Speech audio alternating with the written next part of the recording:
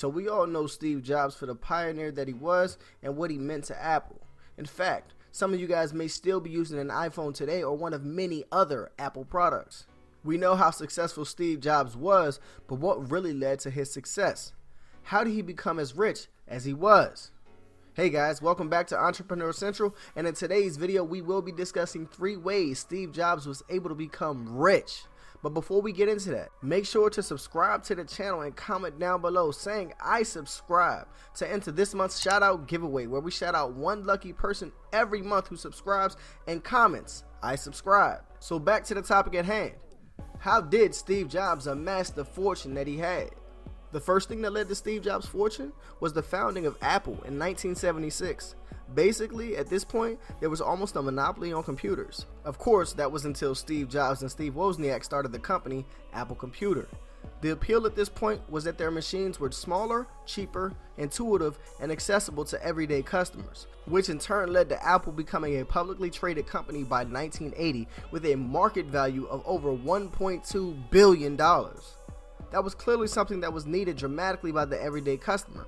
It was stated by Steve Jobs himself you can't ask customers what they want and then try to give that to them. By the time you get it built, they'll want something new. So clearly, he started off wanting to innovate. Having low cost, reliable computers with a different operating system was the first step to doing that. Now, let's fast forward a few years. Have you ever owned an iPod at any point in time? Yeah, I have too. And by 2008, Apple became the second biggest music retailer in the US, only trailing the number one US music retailer, Walmart.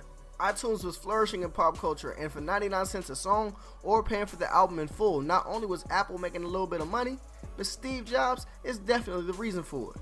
Not only was iTunes flourishing, but around the same time, Apple revealed its first iPhone, which changed the world. This was Steve Jobs' baby. Maybe one of his proudest accomplishments because now here we are in 2020 and phones are still trying to emulate an iPhone. The first iPhone creation began because Steve Jobs literally hated someone at Microsoft. Yeah, touchscreen phones were out, Windows phones were out, but most of those phones used a stylus and Steve Jobs really hated the stylus. When the iPhone was being developed, it was so top secret that you couldn't tell your family what you were working on if you worked for Apple. And on top of that, departments did not talk to each other. So they didn't really know what another department was doing. But here we are 13 years later, Windows phones are pretty much gone and the iPhones are a prominent part of pop culture. Steve Jobs had Apple thriving, and not only that, his pockets were too.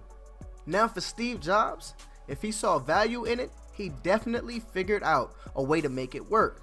In 1986, he purchased Pixar Animation Studios from George Lucas. He literally invested 50 million dollars of his own money into the company.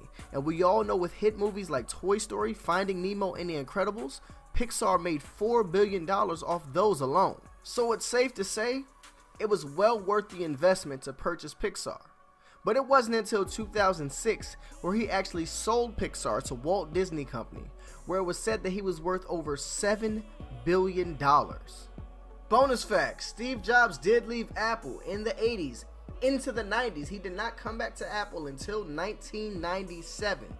In 1985, he also sold all of his shares of Apple.